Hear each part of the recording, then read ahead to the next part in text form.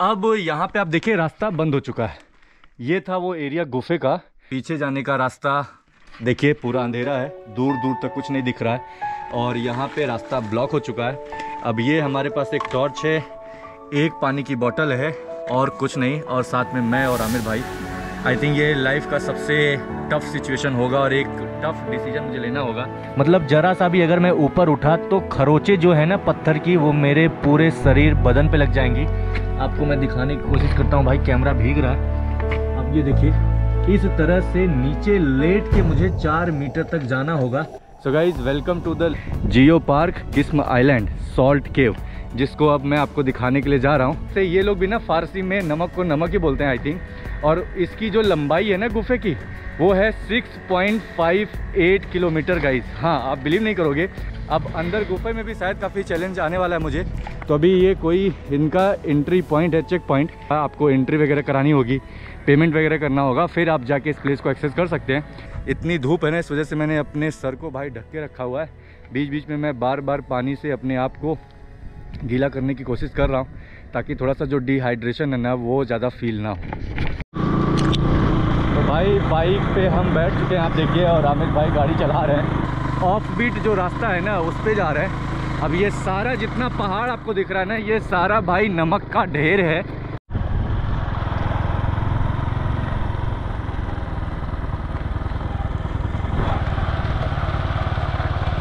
Namakdan salt complex geo site, जिसका code है G zero seven Qeshm island, UNESCO global geo park में ये list किया गया है। In this geo site the world record Namakdan cave exist. दुनिया का सबसे लॉन्गेस्ट ये सॉल्ट केव है, आप देख सकते हो the world longest salt cave 6500 meters और तीसरे नंबर का जो गेट है, वो काफ़ी डेलिकेट है एंड ऑल्सो वेरी डेंजरस कैसा है ये आप खुद देखिए, पूरा चारों तरफ़ भाई सिर्फ़ आपको ढेर दिख रहा होगा। आपको दिख रहा होगा कि मिट्टी है बट ये पूरा नमक का ढेर है। You have been two ten times and you survive every time oh my oh my God तो गाइज़ ये रहा दुनिया का सबसे लॉन्गेस्ट सॉल्ट केव यानी नमक का गुफा और उसका सबसे ग्रैंड दरवाज़ा। आपको अभी भी ये लग रहा होगा कि है क्या आप देख सकते हो। ये पूरा नमक है सिर्फ़ और सिर्फ़ नमक। नमक का ढेर। ये आप देखिए। तो हम टॉर्च लेके यहाँ पे आए हुए हैं। और थोड़ा सा जीपीएस वगैरह कि इन केस कोई प्रॉब्लम हुई तो हमें ये आइडिया चल सके। तो देखता हूँ भाई आई थिंक कितनी देर तक मेरा ये गोप्रो चल पाएगा क्योंकि इतनी ज़्यादा हीट है ना। हम ज़्यादा यहाँ पे रुक नहीं सकते हैं, फिर भी मैं रिकॉर्ड करने की कोशिश करके आपको दिखाता हूँ। अब ये देखिए, ये पूरा नमक का सिल्ली है।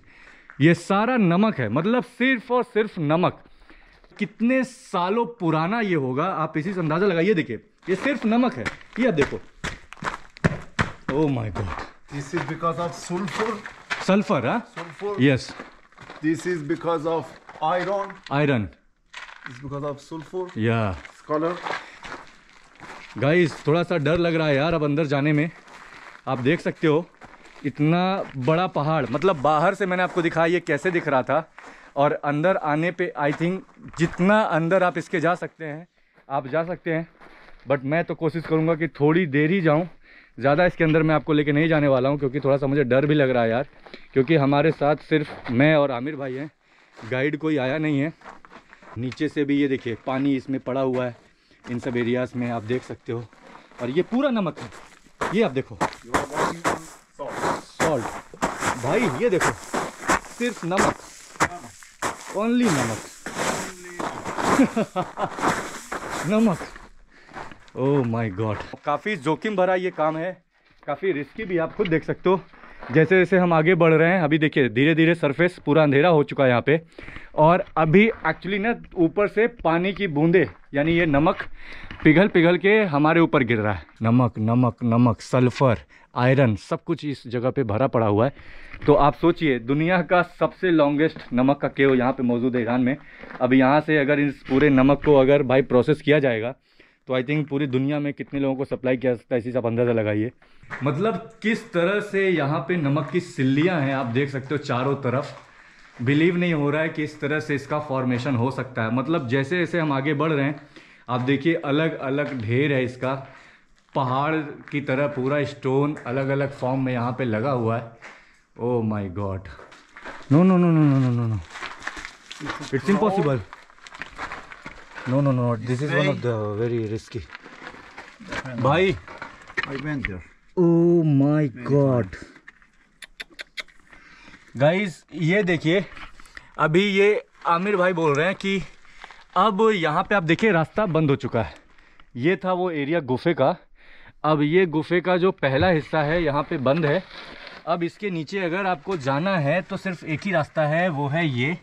इस तरह से ज़मीन के नीचे आपको पूरा लेट के लिटरली लेट के धीरे धीरे धीरे धीरे ऐसे जाना होगा। करीब I think four meter I go first no no no how many how many how far four meters crowd four meter no no no you don't go no it's carry what you think we should go I go four times four times Yeah. Really Yeah. because camera and everything. Uh, it's very risky. uh, you can take your camera. Yeah that's what i'm saying. Yeah because it is going to fall down. मतलब आप सोचिए अब यहाँ से पीछे जाने का रास्ता देखिए पूरा अंधेरा है। दूर दूर तक कुछ नहीं दिख रहा है। और यहाँ पे रास्ता ब्लॉक हो चुका है। अब ये हमारे पास एक टॉर्च है एक पानी की बोतल है और कुछ नहीं। और साथ में मैं और आमिर भाई। आई थिंक ये लाइफ का सबसे टफ सिचुएशन होगा और एक टफ डिसीज़न मुझे लेना होगा। या तो मैं पीछे जाऊँ, या तो चार मीटर तक इस तरह से आप देख सकते हो। आप देखिए, फंस सकते हैं आप, खुद देखो। मतलब जरा सा भी अगर मैं ऊपर उठा तो खरोचे जो है ना पत्थर की, वो मेरे पूरे शरीर बदन पे लग जाएँगी। आपको मैं दिखाने की कोशिश करता हूँ, भाई कैमरा भीग रहा है। आप ये देखिए, इस तरह से नीचे लेट के मुझे चार मीटर तक जाना होगा। और तब जाके, मुझे तो नहीं पता, आमिर भाई बोल रहे हैं कि शायद अंदर आगे चार मीटर जाने के बाद काफ़ी बड़ा स्पेस मिल जाएगा कि आप थोड़ा सा उठ के और खड़े होके बाकी जगह पे एक्सप्लोर कर सकते हो। अभी भी मैं डाउट में हूँ यार, आप देखिए, मैं कैमरा को पूरा ज़मीन में नीचे लिटा के रिकॉर्ड करने की कोशिश कर रहा हूँ ताकि आप लोग देख सको। आप ये देखिए, पूरे नमक की सिल्ली यहाँ पे भरी। तो यार गाइज़ अंदर में मेन जो हिस्सा था वहाँ पे आपको लेके नहीं गया, क्योंकि काफ़ी ज़्यादा यार डरावना था और आई थिंक कैमरे के साथ और इतना रिस्क लेके अंदर जाना सही नहीं है। हमारे पास गाइड भी क्योंकि कोई नहीं था। यहाँ पे नमक और सल्फ़र की माइनिंग हुआ करती थी और वो आप यहाँ पे देख भी सकते हो हर जगह, जैसे मैंने आपको दिखाया सरफेस तो आपको यहाँ पे आयरन सल्फ़र नमक ये सारा कुछ भाई दिख जाएगा। और ये जो किस्म आइलैंड है ना, यहाँ से एक्चुअली देखा जाए तो वेसल्स जो हैं चाइना इंडिया और अफ्रीका में आते जाते हैं, ऐसा लोग बोलते हैं। और यहाँ से 180 किलोमीटर अगर ये वाटर बॉडी जो पर्शियन गल्फ का है क्रॉस करके आप दूसरे हिस्से में जाएँगे तो आप पहुँच जाएँगे जो यूएई यूनाइटेड अरब ऑफ़ अमीरात का राशिद पोर्ट है ना, वहाँ पे। तो इतना पास है ये पूरा एरिया किस्म आइलैंड बजाज की अपनी पल्सर तो ये है बजाज की 135 सीसी वाली एलएस जो हमारे पास है। आमिर भाई गाड़ी चला रहे हैं।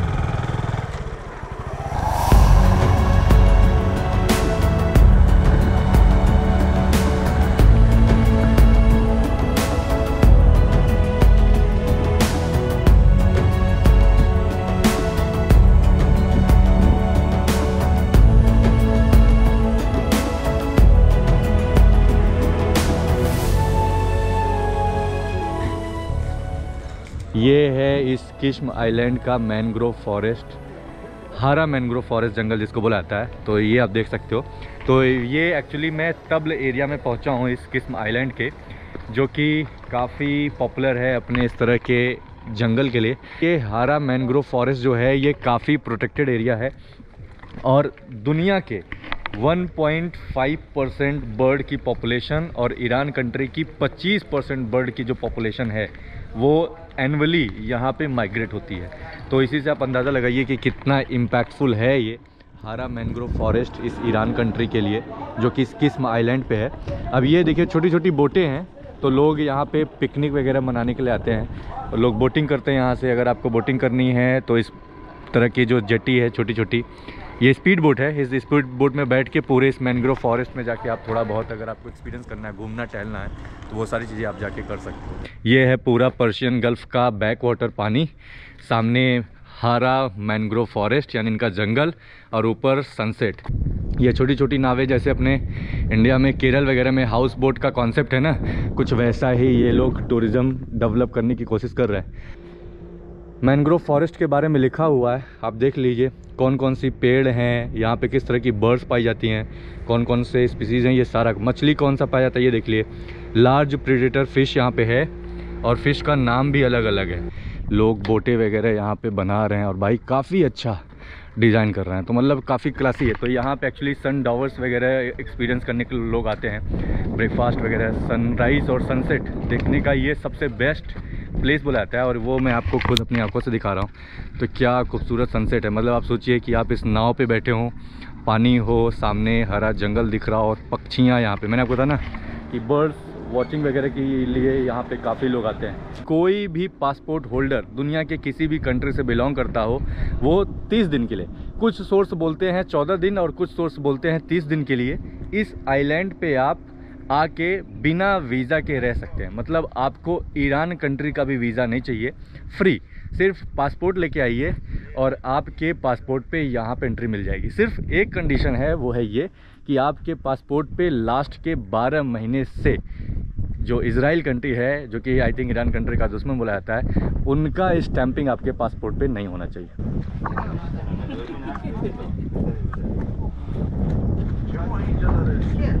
सलाम। वालेकुम ओ बढ़िया। भाईजान आप तो हिंदी बोल रहे हैं। आप कहाँ से हैं? हम इधर गए इधर का? नहीं नहीं आप हिंदुस्तान से इंडिया से हिंदुस्तान भी हमारा मुल्क क्या ओ क्या बात है माशाल्लाह क्या बात। तो आप ईरान से हैं? है? ईरान में किस प्रोविंस से आप? हम बंदर लेंगे। बंदर लेंगे मतलब बंदारी बंदर को बंदर कौन हाँ। अभी मैं बंदर कौंग ही जा रहा हूँ। हाँ। क्यों?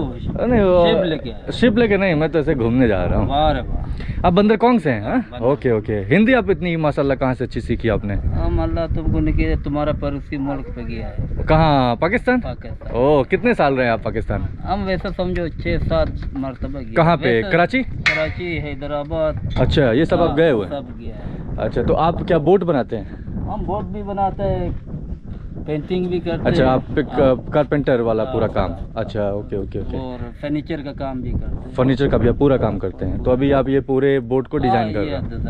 अच्छा किसी पार्टी के लिए।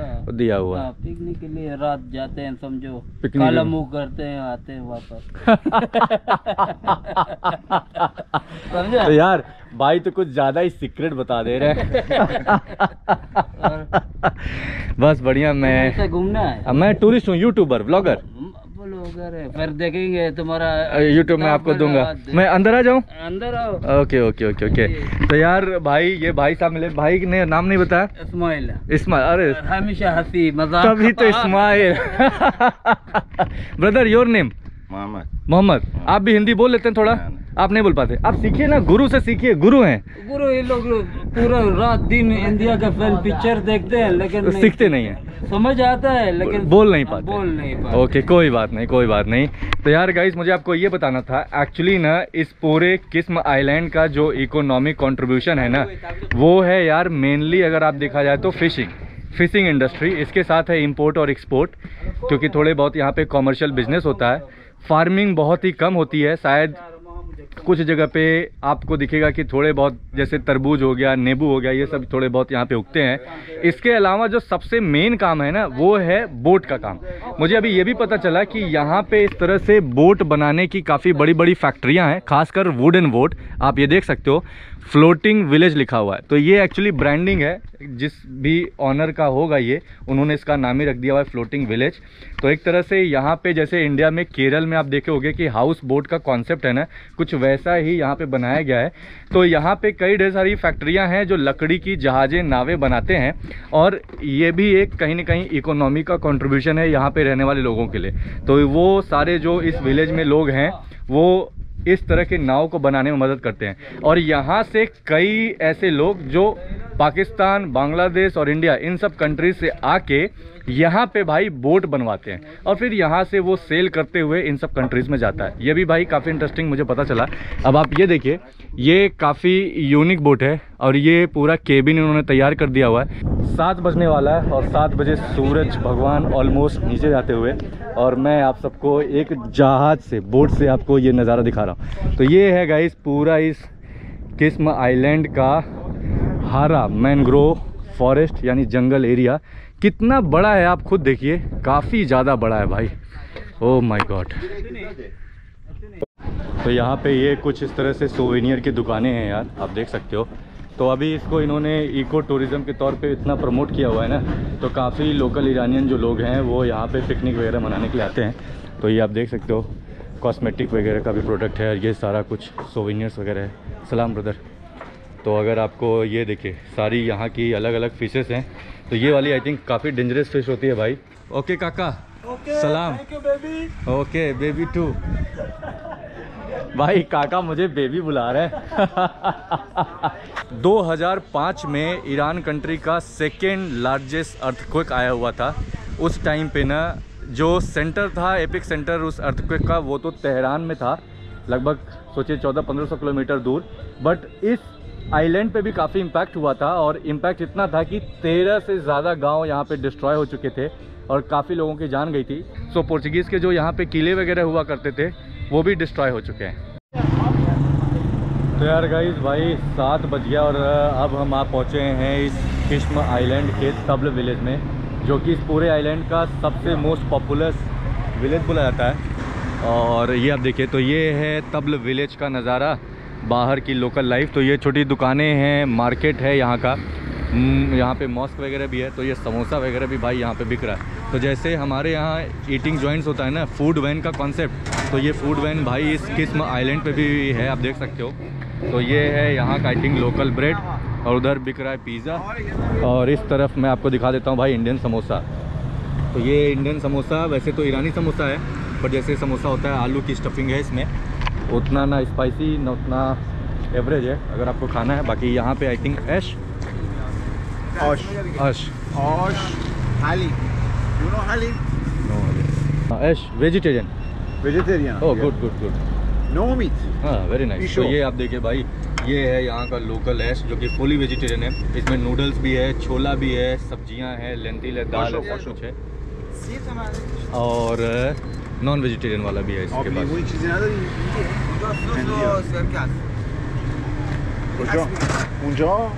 ओह दिस केबल तो शाम के टाइम पे एक चीज़ यहाँ ईरान में भी मैंने नोटिस की ना यार कि यहाँ के लोग ना आई थिंक घर पे रोटी वगैरह बनाते नहीं हैं। बाहर से कोई ना कोई नान जो होता है इनका बड़ा पराठा टाइप का वो लेके आएँगे। घर में या तो कुछ बना लेंगे थोड़ा सा सब्ज़ी या तो बाहर से लेके आएँगे और फिर सब लोग खाएँगे। तो ये देखिए ये है समोसा अपना और ये है लोकल ऐश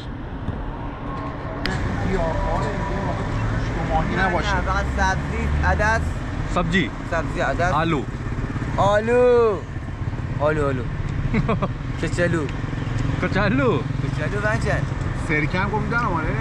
तो भाई ये लोग आलू को कचालू बोलते हैं जैसे हमारे हम लोग कचालू दम बोलते हैं ना तो ये लोग भी कचालू बोलते हैं।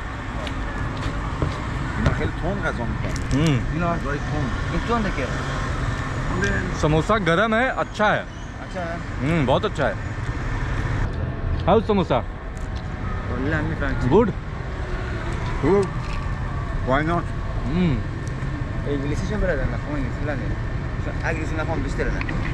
तो गाइज़ अभी रात के साढ़े आठ बज चुके हैं और मैं किस माइलैंड को एक्सप्लोर करने के बाद बंदर पोल से बंदर एक खामिर आया हूँ।